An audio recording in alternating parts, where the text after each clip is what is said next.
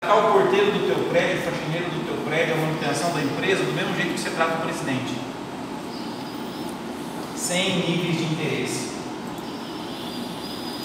Isso é uma reflexão profunda.